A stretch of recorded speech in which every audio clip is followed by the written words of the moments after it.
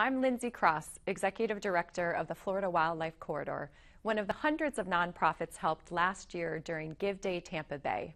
Mark your calendars for May 2nd and log on to givedaytampabay.org to help us continue our good work. Your generous donations last year helped us to champion the permanent protection of lands and waters critical for wildlife and people in our community, ultimately helping to improve the quality of life here in Tampa Bay.